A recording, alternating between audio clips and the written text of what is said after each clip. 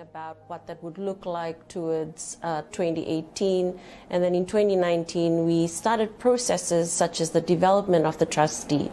And we knew at that time that the trust deed development needed to have input from our partners. So we took a very participatory approach in reaching out to our partners, our sister funds, on what our governance structure would look like, what our mission and vision, um, also we took this exciting journey of developing our very first strategic plan. That also then culminated in the registration of the Fiji Women's Fund as the Women's Fund Fiji, the first national women's fund in the Pacific. It sounds easy, but it's not really. There were legal requirements that we had to take into account, such as the registration.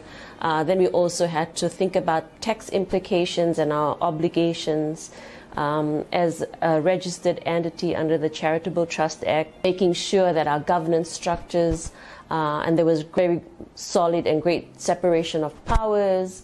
Uh, and alongside that, also there were uh, transitions of processes. So the Fiji Women's Fund uh, was uh, and is currently funded by the Australian government and managed at that time by a managing contractor. So there were internal processes and operations that we had to shift uh, from, such as you know developing our own uh, policies, uh, putting into place uh, new contracts uh, with uh, staff members, and then also at the same time thinking about our identity and how we would communicate that to the rest of the world.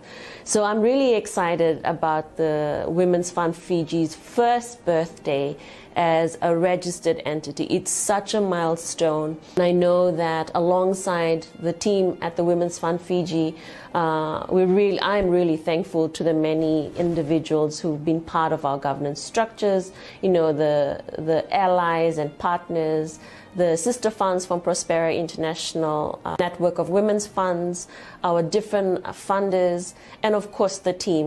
Uh, I don't think that without the team at the Women's Fund Fiji, this would not be possible. So happy, happy birthday, Women's Fund Fiji. I am so very proud. Congratulations.